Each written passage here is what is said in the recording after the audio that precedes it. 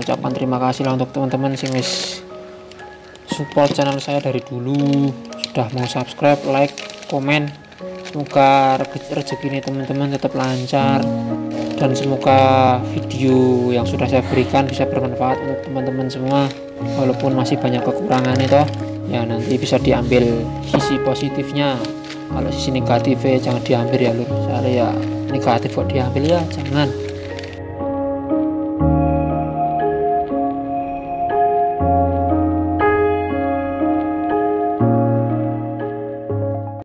Assalamualaikum warahmatullahi wabarakatuh Jumpa lagi di channel saya Biasalah Jangan lupa subscribe ya Sini, bawah sini Oke? Okay?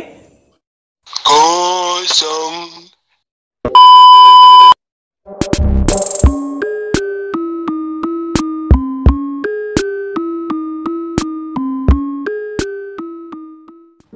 Ya, dalam video kali ini saya cuman mau ini ya lur mengunboxing. Ini ada paket ya ini. Kelanjutan yang video yang kemarin yang mesin saya itu trouble ambrol ya. Di bagian stang sehernya itu ngancing terus alhamdulillah. Kemarin ada udah sedikit rezeki lah. Ini saya sudah beli stang seher komplit ya ini. Plus bearing plus itu apa lahar untuk krok asnya kanan kiri. Nanti untuk apa ya untuk ukuran bearing dan untuk panjang setangnya itu kan kalau Suprafit itu beda ya sama Grand atau Supra X100 yang menggunakan blok besi. Untuk panjang stang seher Suprafit itu lebih panjang ya soalnya kan blok piston itu lebih panjang sekitar berapa ya? Sekitar 5 5 milian lah. Daripada blok piston punya Egren yang besi itu. Kesamaan dari stang seher Suprafit itu legenda Revo lama yang Revo lama 100cc terus Suprafitnya itu sama ya lur. Ini juga plus bearing dengan kode 6304 dua dua buah bearingnya KWB Japan. Nanti sebelum ini tak unboxing tak buka mau tak liatin dulu kondisi mesinnya sekarang itu gimana. Padahal kemarin yang sudah tak jelaskan di video itu banyak yang tanya-tanya motornya kenapa bang? Kok dibongkarin lagi ya? Padahal di video itu udah, udah tak jelaskan motor itu masalahnya cuman di stang seher. Itu ngancing ya lur. Pas kemarin hari apa itu hari selasa kalau nggak salah. Pagi-pagi tak buat jalan. Reno tiba-tiba baru jalan berapa meter ya? 500an meter itu terus ngancing mati. Tak salah-salah nggak bisa keras yuk nggak bisa yuk setelah itu nggak bisa. Nanti ini setelah tak unboxing besok pagi mau tak gas bawa ke tukang bubut untuk masang stang seher ini. Ya kemarin saya sempat tanya-tanya sih untuk biaya masang sama nanti ngepresnya lagi. Sekalian balance ulang biar presisi biar itu barang nggak mobil atau nggak mobil antara magnet sama di bagian kampas gandanya itu biar stabil muternya. Itu biayanya sekitar 30 ribuan ya tapi ya nanti belum tahu juga belum dibawa ke sana juga toh. Saya saya, cuman tanya lewat chat sih untuk tak liatin kondisi ya kondisi setelah kemarin tak bongkar itu gimana. Ya untuk kondisi motor Supra saya kayak gini lur tidak ada mesinnya ya cuman rangka sama bodi nih. Ini tinggal diganti aja pakai pedal terus buat jalan udah aman. Jadi sepeda sepeda motor tapi tanpa mesin. Malah tanpa kendala ya lur kayak gitu ya. Dan kemarin sempat ada yang tanya masih menggunakan CDI DSK yang dulu pernah saya pasang itu loh ini saya masih ya menggunakan di sini. Sini tuh ini CD ini tak kasih plastik. Ben awet juga atau enggak? Lecet-lecetnya ini. DSK Neomax ini juga tak karetin malah karetnya udah putus itu lur. Terus nanti gampang nih tinggal ditutup baik kayak gini. Untuk soket ini saya langsung tak sambung ke soket Suprafit ya? Jadi nggak harus motong langsung disambung. Modelnya di jemper kayak gitu lu disambung. Ini tak taruh di sini. Untuk sepul ya ini. Sepul di sini masih menggunakan sepul standar ori bawaannya dulu nih. Nggak dirubah. Untuk aki aki yang dulu dulu banget ini. Pernah saya buat video juga yang review aki RCA bed itu loh ini masih awet. Ini juga sering tak cek sebulan sekali untuk tegangannya. Kalau udah nyampe di bawah 12 atau 13 tak cas lagi tak cas ulang. Soalnya kan saya juga punya casasan sendiri. Ini untuk kabel mainnya tak sambungin di rangka untuk kabel plus masih di masih ngikut ke ke dalam sana ke kabel-kabel yang tebel ini loh nih. Cuman kabel main ini tak sambungin ke besi yang ada di rangka. Nggak apa-apa aman. Udah simple sih kalau di bagian kabel-kabel aki sudah tak rapin cuman kalau mau ngerapiin yang kabel besar ini loh sayang maneman Oke lanjut. Ini untuk kondisi mesinnya ya. Seperti ini lur. Nah ini untuk kondisi mesinnya ya. Wes kayak gini tinggal. Kalau udah bos ini tinggal diajar wah tinggal di pos siapa yang minat? Tapi enggak jangan-jangan. Maneman sih motor perjuangan dari kecil ini pas waktu saya masih bayi. Sampai sekarang malah tak buatin kayak gini. Ya wes lah nggak apa-apa lah buat pengalaman hidup gue nanti bisa buat cerita ke anak istri cucu. Nih di sini masalahnya ya. Di bagian stang seher ini ngancing tuh ini nggak bisa digerakin nggak bisa diputer. Ngancing di dalam di sini. Ini ya mungkin karena udah lama juga atau motor udah tua udah lama udah minta waktunya ganti ya kayak gini malah mancing. Itu kemarin juga udah tak balikan stang seher ya seharga 180-an udah sama bearing ya. Bearingnya ini tuh lahar kanan kirinya ini buat kerkas nanti setelah tak unboxing besok pagi langsung tak gas ke tukang bubut biar nanti bisa ditunggu siang apa sore bisa diambil nggak harus nginep tuh dan untuk kemarin ada yang tanya-tanya apa yuk? Seputar spek ya masih seperti yang kemarin ya lu nggak ada yang beda. Piston kasih cuman. Piston wis kayak gini tuh. Barat barat di bagian sini. Sini juga bagian bawah ini kalau di bagian bawah sih masih mendingan cuman bagian atas ini. Masih nggak apa-apa lah. Ini juga dipakai masih enak sih.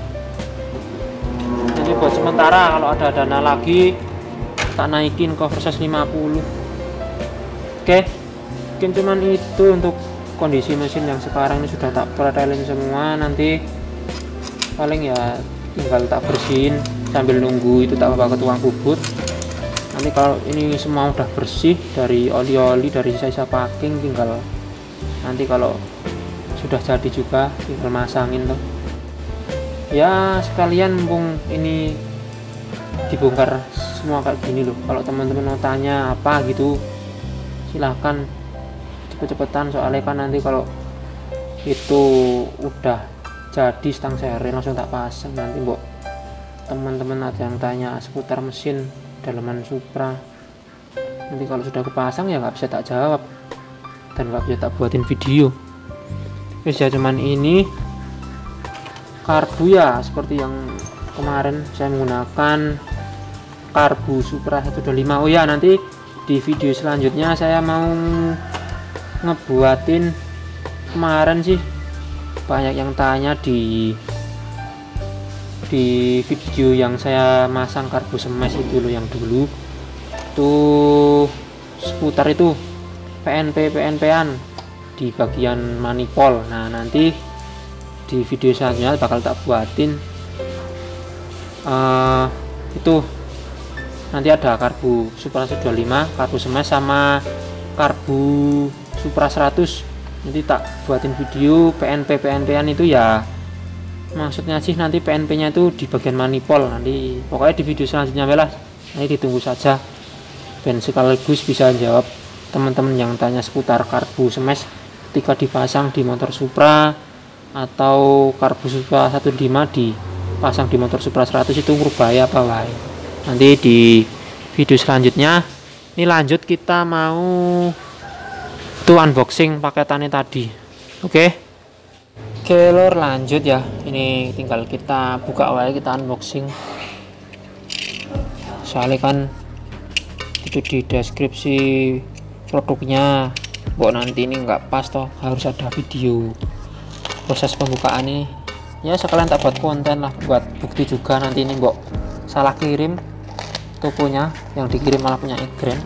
Kan kita juga nggak tahu ini di video ya sepenting nanti bisa buat pengajuan pengembalian kalau salah salah kirim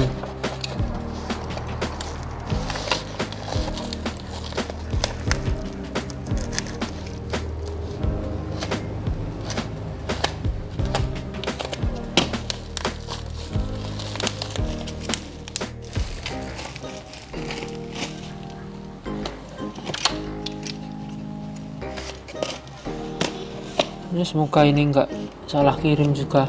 Enggak salah apa produknya yang dikirim. Uh sorry lur. Honda ya tuh ori Honda wis mantep ini lur. Barangnya ori semua ya. Untuk lahar sebentar kok enggak ada kode di sini. Tuh ada ini. Di sini tuh kode ini 6 bentar nggak fokus sih. 6304 ya kode nih sama di sini.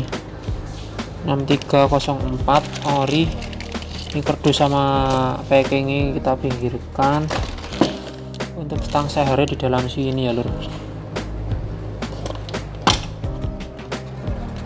Bismillah. Semoga kode ini KFM soalnya kan di tulisan tentang seher itu tulisannya KFM nah ini. Bentar bentar. Wah bener kok lur. Di sini kodenya juga KFN tulisannya KFM ini sudah sama pen pen piston eh pen piston pen dari itu apa stang. Sama ini apa ini namanya lahre atau apa ini. Nanti tinggal dibawa lah ke tukang bubut dipasrahin. Suruh masangin nanti sekalian kan di tukang bubut bisa balance ulang sama ngepres ulang lagi. Ya ini untuk barang entah ya ini tulis mereknya Honda. Astra Honda motor tapi ini ori apa enggak ya? Kurang tahu. Ini untuk bungkusnya bisa dibilang ori tapi untuk barangnya kurang tahu ya.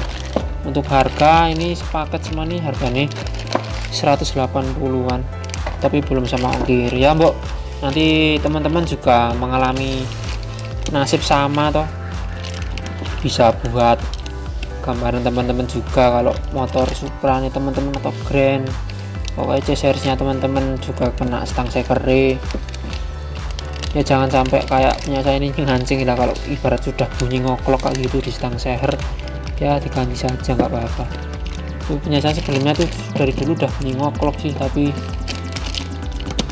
masih tak paksain ya itulah kayak gitu akhirnya ngancing untuk harga ya tadi 180-an saya beli di online di Shopee. Kalau beli langsung di bengkel bisa lebih ya 180 sekitar. Bisa nyampe 230-an ya kalau beli di bengkel ya mungkin itu ya lur. Yang bisa tak sampaikan. Dalam video kali ini cuman ya klarifikasi. Kemarin lanjutan video yang kemarin yang saya bongkar dan stang saya hari ngancing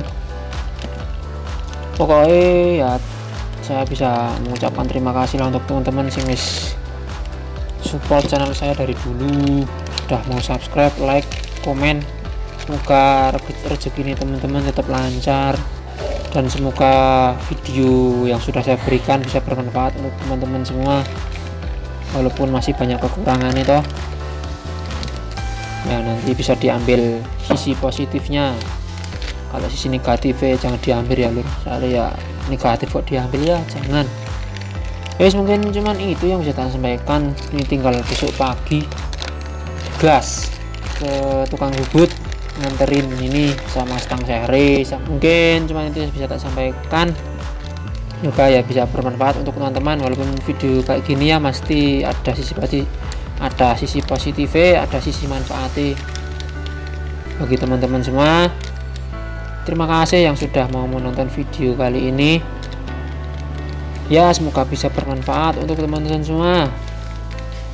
Jangan lupa subscribe yo. Di like juga komen juga nggak apa-apa. Masih tak jawab. Yang terakhir wassalamualaikum warahmatullahi wabarakatuh